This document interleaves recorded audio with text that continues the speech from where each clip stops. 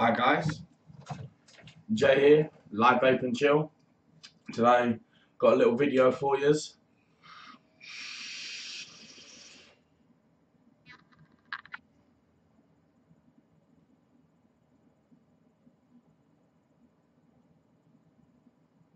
That's not it, but anyway, let's get down to it. So, in the post, I got this um, cloned Avid Lyfe Able Murdered Out mod. Um, so I'm going to do a little review on that and a little build on that today. And then um, uh, after I've done the build, I'm going to hit it up, show the cloud production on it. So without further ado, let's go down low. So here we go, going down low. Right. So, this is the little box that it came in. Um, so, inside we get the uh, spare screws, couple of coils, couple of O-rings and a screwdriver. We get the Hubble 2 cap, which is made of solid brass and it, it, it weighs some. It really does. It's crazy we get the Modfather cap, also solid brass, and the weight of these are just phenomenal. They're, they're solid, you know.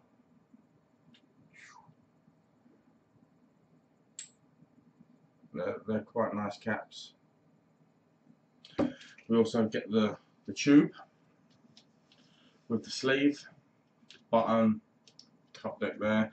So this is a uh, black version uh, murdered out by Comp Lyfe. Well, it's not by Comp Lyfe, it's a clone version of the Comp Lyfe one.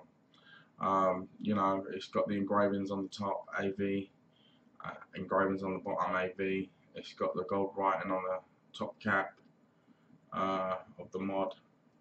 Uh, the mod itself is heavy. This is also made of solid brass. So solid brass coated in some sort of black coating. I don't know what coating they use, but it seems to be of a decent quality. Uh, you get a short throw switch. Don't know if you can see that there. Which is copper, so you just literally adjust it and then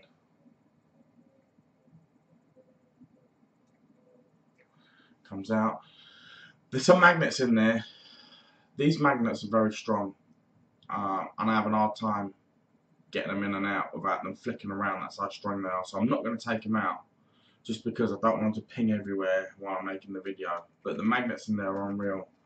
Um, then obviously you've got the sleeve, aluminium sleeve, uh, sort of sleeve that they make anyways, aluminium sleeves. It's quite light, but it's alley and then we've got the actual tube itself which is brass. Um, all in all the threads on these are just like silky smooth. Look. There's no grinding no crunching no nothing. The threads on there are amazing. Um, I don't know the weights or the measurements. I haven't got a, a legit one to compare it with. Uh, but I am going to buy one to be fair. I'm going to buy an Able mod. But I just wanted to get one of these just just to see, like, you know, it was a one-to-one -one clone, they said, just to get the look and the feel and and and the actual characteristics of it, just to see if I do like it. And so far, I'm actually loving it. The weight of this is unbelievable. Um, there is a deck that comes comes with it. Just um, what is this deck? This is. Give me a second, and I'll tell you exactly what it is. Oh, got all gear all over that. This is, does it say? I don't know what that, I can't actually read the writing on there, but it's a deck and it's got AV printed on the bottom. Um, there is some writing there, but I can't actually see it. My eyes are terrible, and the, the light shining on it at a funny angle. I don't want to get up. I did do a build on that, but that's just like a flavour sort of build. So I'm going to put that to one side because in the post also I got a battle deck. So this is a clone, battle deck clone, but I've I have actually seen the real thing up close and personal, and you know what? There doesn't seem to be a lot of difference, if I'm honest. The negative posts are milled into the deck itself. It's all got the, the writing inside. Comp Lyfe.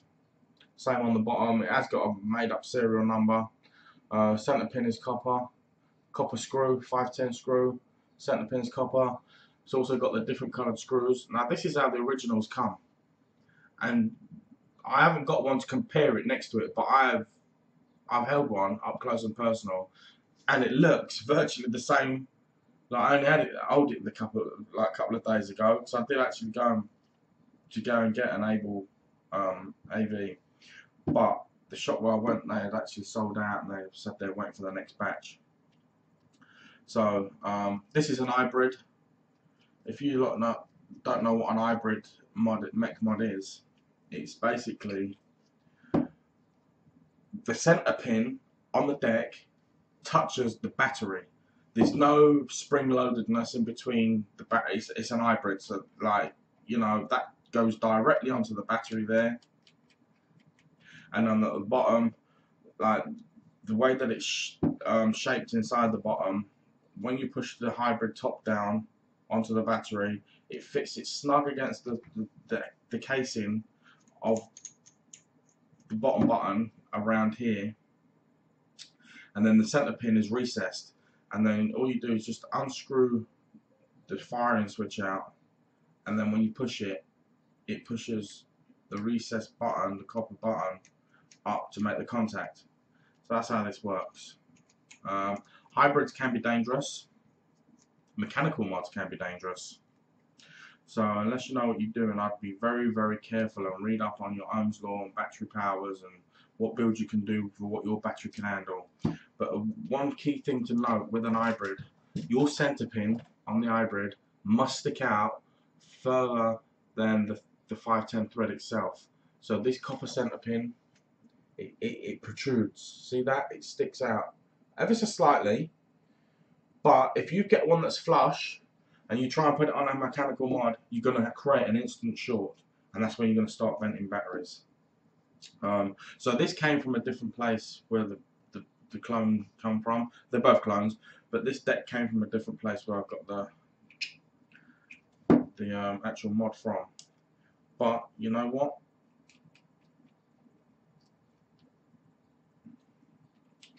It actually fits on there lovely. It fits on there beautiful that is nice. I'm liking it. So without further ado, I am going to get down and build on this. I don't know what it's going to come out at. I really don't. But what I'm going to be using today is uh, Twisted Claptons, just because that's what I've got available and it's right here. I have got some 22 gauge here, but I don't really want to be using that at the moment. Um, in fact, or should I? No, I'm going to use this for now. So I've got um, 26 gauge Kanthal A1. Uh, so it's Claptons. You know what Claptons are. And they're twisted together Claptons. Um, so that's what I'm going to be using today. So without further ado,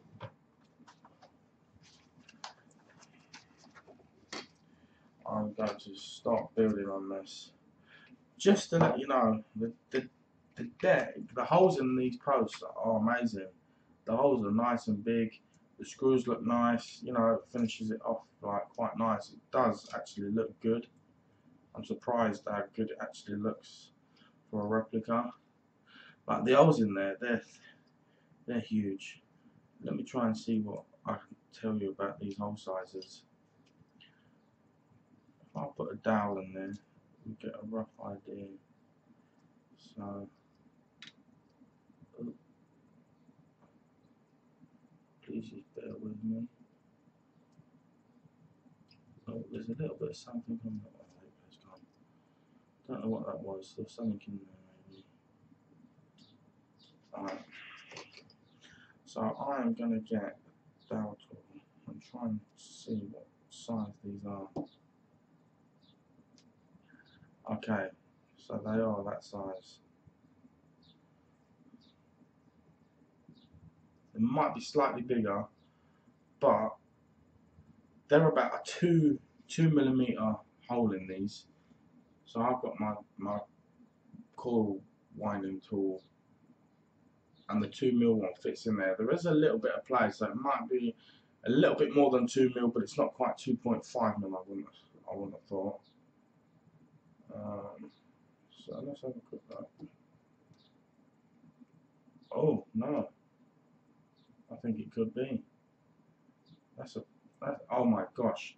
They are. They're 2.5 mil holes in there, so they're quite a big hole. You can get a nice, a nice, um,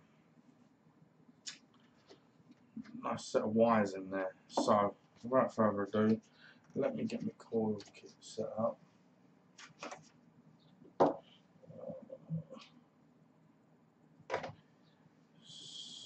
So,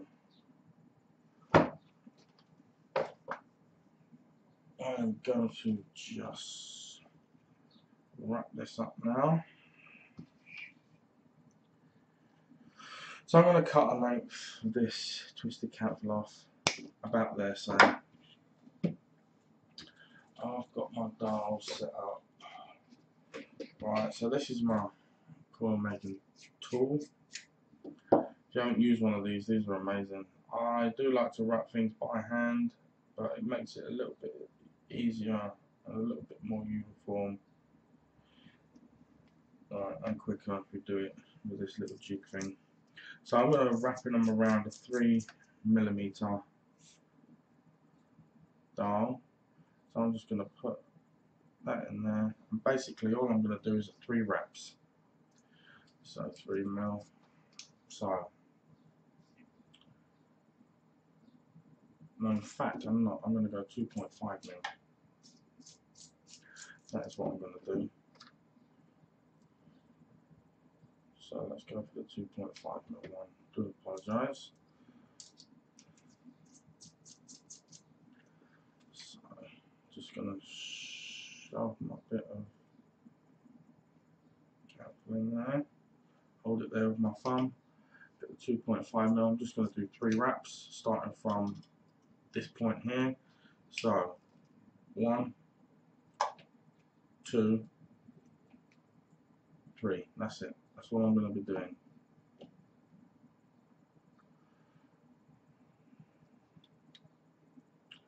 So I'm just going to cut this off.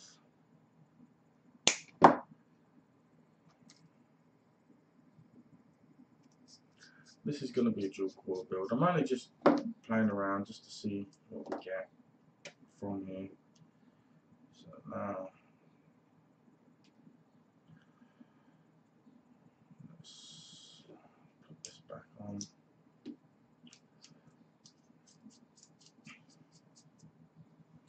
So we've got the coil there. I like to put it on back on the dowel and I get my long nose pliers. And then basically I like to pull the legs to make sure the coils are nice and tightly formed around the dowel there. So there. Then get a nice looking little twisted Clapton coil there. So I'm going to make another one of them So same thing again. Put it, put it through the little hole that's there. Hold it with your thumb. There's a little notch out there. It catches the cable, uh, the, the wire, and it pulls it round. So I'm going to start where my thumb is. So that's going to be when the the little catch bit comes back to the top. That's one. So that's there. That's one. Two. Three. That's it. Back onto itself. leave a little bit of a leg, trim some of the excess off. I'm going to do the same again. Just going to pull the coil out of here. Sometimes it can be difficult getting them out of there, deforming them. Okay, I'm going to put this back on again. Same sort of thing. Pull the legs to make sure that worked out very well. I've actually pulled it straight off. Don't try that at home. I'm going to hold that there. Let's go again. One, two, three, okay.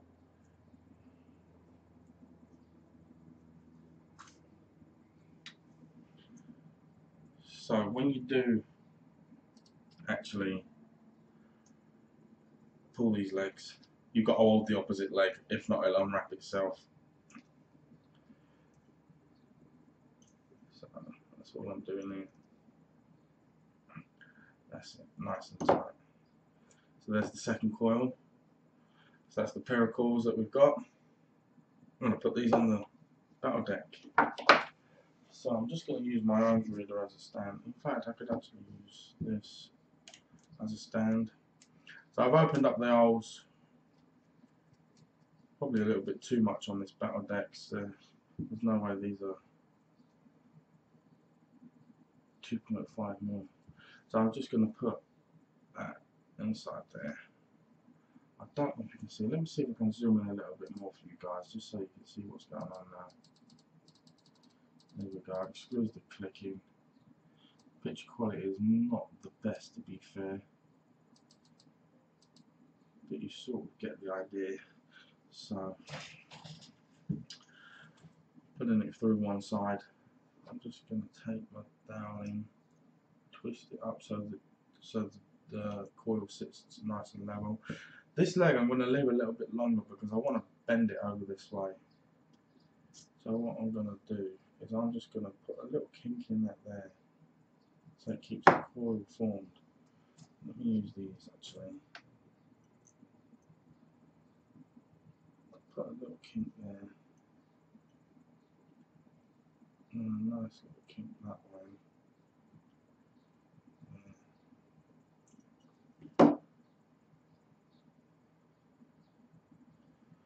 So that'll move my coil over a piece that way. So it's not sitting too much towards the edge, it's sitting more or less central. Oh, that's lovely. It's sitting right over this. Yeah, that'll do me nicely. It's not dead central in the middle of the the deck itself, but it's sitting towards the centre more. Because it's only such a small coil. I'm going to screw these screws in. In a little bit more. I know you can't really see what I'm doing right now, so this is just the camera angle. So let me just adjust that back out for you guys. So, so yeah, I'm gonna hold that there with my thumb. Tighten the negative leg post up tight. That's what I'm gonna do so that's tight. Yeah, that's nice and tight. I'm going to leave the centre leg where it is for a moment. now I've tightened that first leg up, I'm going to trim that back so we haven't got to worry about that. That's trimmed right back, that's nice. So now, with this centre post leg, I'm just going to bend that to one side so when I put the other leg through, it, it goes through nice. That's what I'm going to do on that. So I've got the other coil here. I'm just going to do the same sort of thing as what I did with the last one. I'm just to put a little bend in it so it moves over a little piece.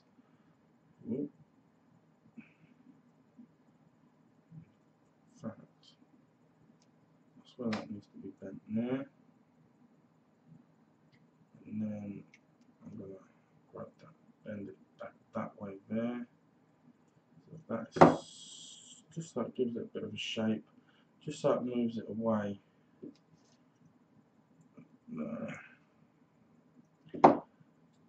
Right, so now I'm to push that in to the negative.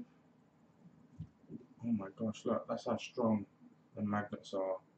It's picked a pair of long nose pliers up and I can swing that around and they're on there. That's crazy. So I move that leg to one side, feed that through. That's lovely. That's great. So now we're back into I'm going to tighten the negative leg up again. Can't really see what I'm doing there, but you get the gist of the idea.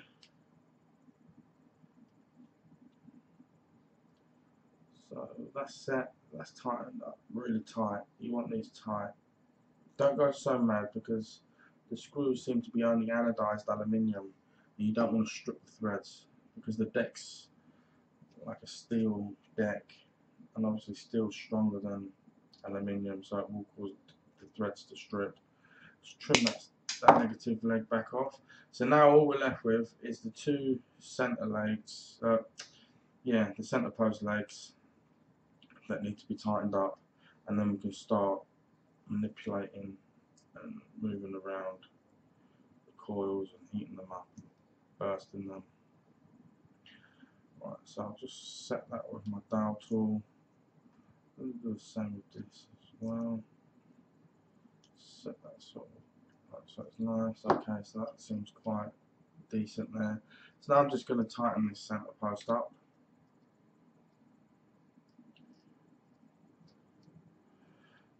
do this tight.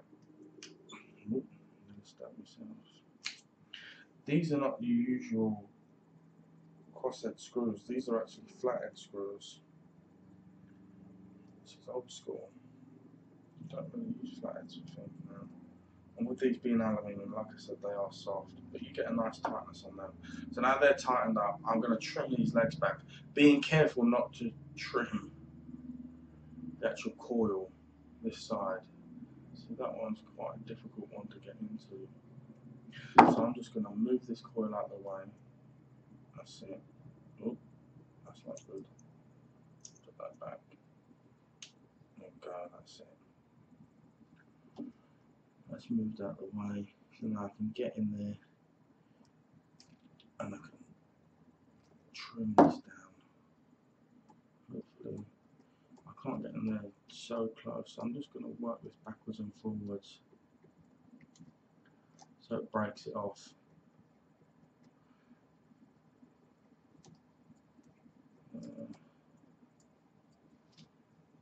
Like wobbling out a loose tooth.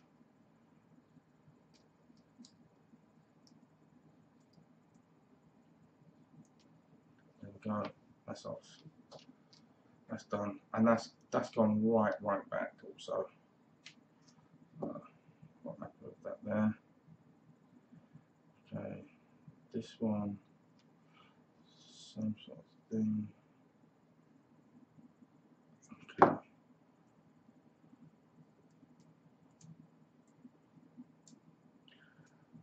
Them backwards and forwards. I'm not going to try and get my cutters in there because I, I, I don't want to cut the other leg to be fair because they're that close together so oh.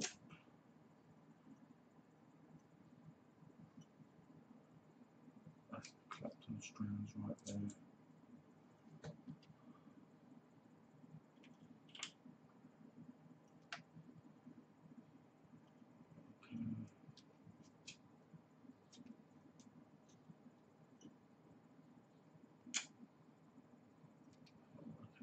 good on this side. I can't get in there properly.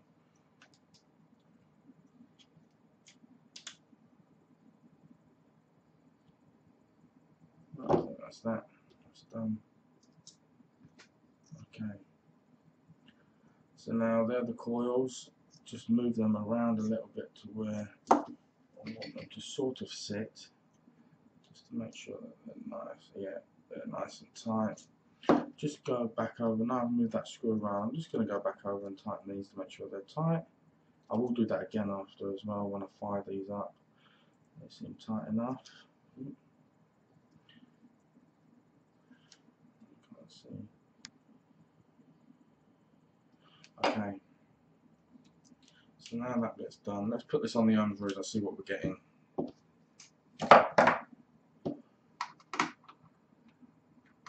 On, what do you think we're going to be getting? Have a quick guess before I turn it on.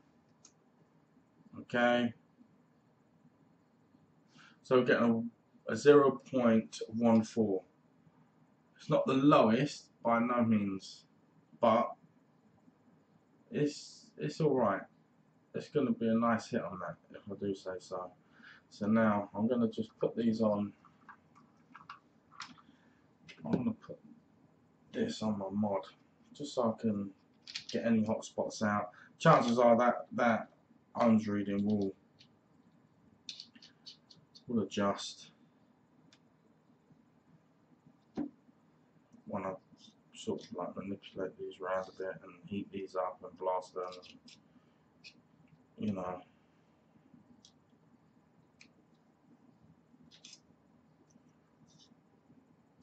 right then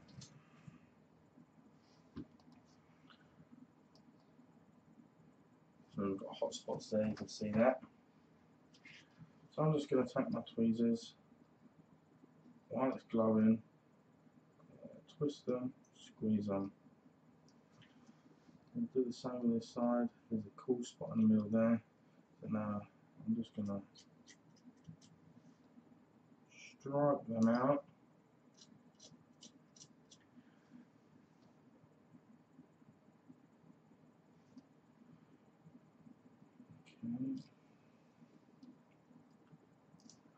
That's quite nice. So I'm going to turn that up now to I don't know. Oh, I'm gonna go 80 watts.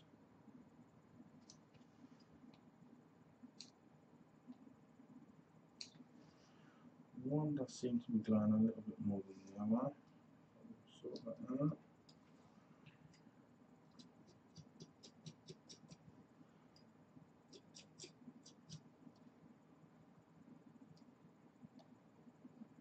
Go quite even. They're glowing nice, they're hot. They're quite central as well. They're quite, uh, no, they're not aligned, they're not level. So let me just lift that one up a piece. So yeah, they're quite level now.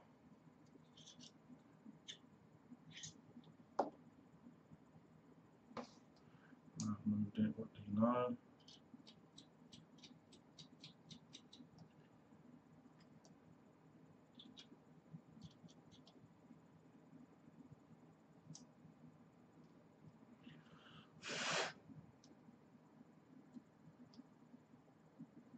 Okay. So the level side to side, the level up and down, so they're they're basically the they're level this way, side to side, so they're they're on a, a line level. They're they're basically level in every direction, so they're the same height as each other, the same level as each other. They're not tilted forward or backwards in any other way. Now I'm gonna take this off of there. Just going to stand it back on here again and then we're going to whip this up and then hit this bad boy. So today I'm using the cotton bacon which coincidentally says not actual bacon, do not ingest, do not use in a medical do not use in a medical setting or situation. Yeah, a nice little warning there for you. So I'm going to take a little bit of this, quite nice fluffy gear, just run my fingers over it like this, watch. It pulls off a nice little bit. You run your fingers over it and it just pulls off all the loose crap that you don't need. So now this is quite a big thick bit actually. I don't know if it's going to get through there, so I'm just going to uh, work that little bit off. So I'm left with a nice little fluffy bit. Twist it up trim a little bit of that wispy bit off there because it might go through the hole.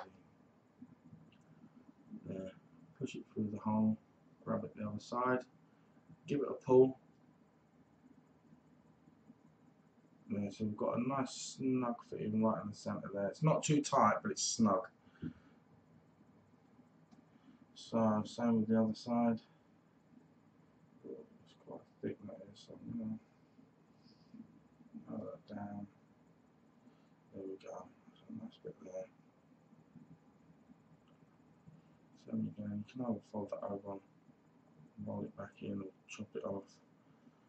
So it's gonna go through, I'm pull it. Oh.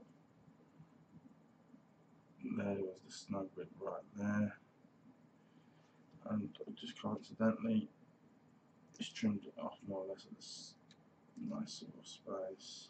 So get rid of them wispy sort of bits.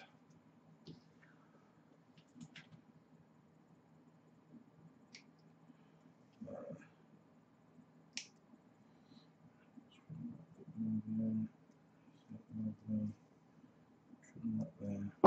Okay. So now what I want to do is just fluff these up a little bit with my tweezers, just to make them nice and fluffy. I'm going to start tucking them in. Literally just tuck them in into the deck just so they sit on the bottom of the deck in the, the edges of the deck. You don't want them under the coils because then you'll start disrupting the airflow. So I'll put them in there, I'll put my tweezers underneath, move it side to side and it makes sure that there's a gap in the centre of the coil, underneath the centre of the coil. Same this side, tuck it in, nicely tuck it in.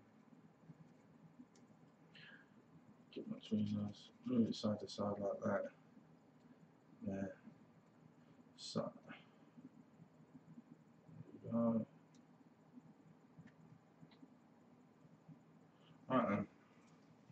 So that's that pretty much coiled up. There's a gap under each coil. So when I put the caps on the holes will go directly over the coils.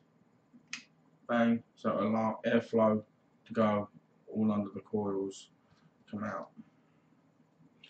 So that that just feels so great if you mate the weight of this is just phenomenal. It's so heavy.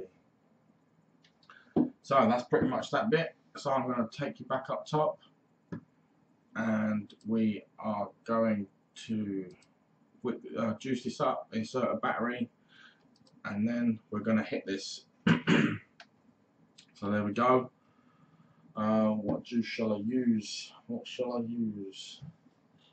I'm going to use a bit of loaded glazed donuts, my favourite juice, I've got to say. So I'm just going to saturate these these wicking cottons nice. Put a nice big bit on the top there. Let it soak in. When you wick, uh, when you're saturating for the first time, you need to take your time to make sure you get them saturated and there's no actual dry cotton left. Because the last thing you want to be doing is getting a dry hit. So I can see now that that that is all whipped up lovely just going to leave that to soak in for a second. I'm going to give this a test pulse fire. So with these hybrid caps, what you do, you stick your deck fully on. So the bottom pin, pin pokes out the bottom. Then you get your battery.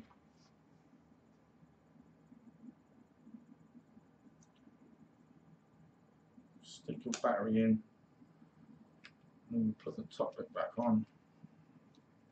And then you do it just so you can feel the tension there. I felt the tension there, and I'm just going to give it a little nip, not too much, because then you start like you know damaging the batteries and stuff. So just a little nip. That's it. So I'm gonna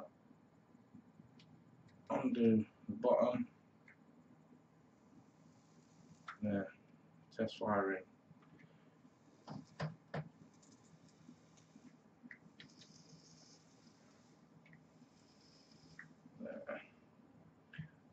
It's not it's not the best build in the world. I've got to be honest. It's just a quick build that I could get in there easy just to show you guys. And then I'm gonna hit this just to let you guys see how it hits. So now that's that's been set for a few seconds, juicing up, soaking in. So now I'm just gonna really juice this up. Let it sit in there for another second or so. See, the well on this is quite big as well, and it's, it's just a nice dish. So what you can do, where your cotton is down into the sides, you can actually put a decent amount of juice in the well. Look, that's holding itself up and the firing button's out by the way. That's how strong the magnets are. So it holds itself up. So yeah, as I was saying, the the well, the dish is quite, the juice well is quite quite big. So you, as long as you make sure that your cotton goes in, it don't go into the bottom and start folding in on itself. What you want to do is cut it so it just touches the bottom around the edges. So say that's your thick, deepness of your well. You cut your cotton so it just touches the bottom there. You don't want it all folding in on itself because that will defeat the object. It don't wick properly that way. So cut it so it fits in nice. And then what you can do, you can actually, in the center there, you've got a gap. You can actually juice that right up in the center. Bang. And then that will juice the whole well up. So you get a good few hits from that. That's the way that I do it anyway. So I'm going to use this mod, mod father cap. That fits on there so nice. It just looks gorgeous. I've got to say it. You know, the weight of it is nice. So let's just hit this up on the first hit. Let's have a look.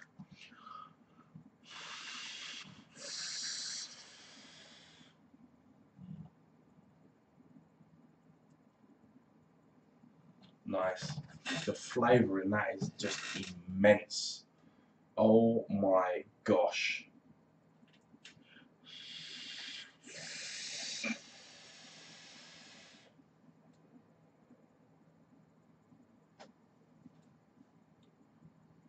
The flavour's banging.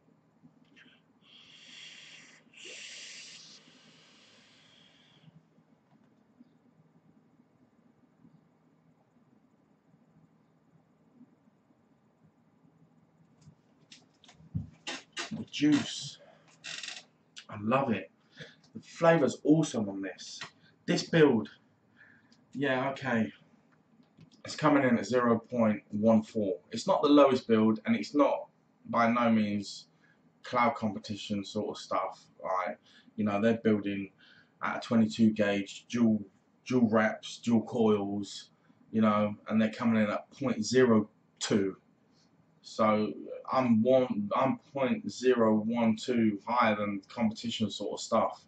Um, but you know, it's flavoursome, it's nice, giving a nice production of the vape.